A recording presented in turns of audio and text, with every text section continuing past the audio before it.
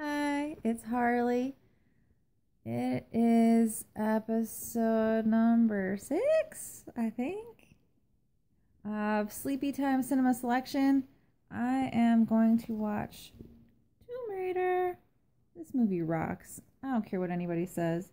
Angelina Jolie pulled it off. She is Lara Croft through and through.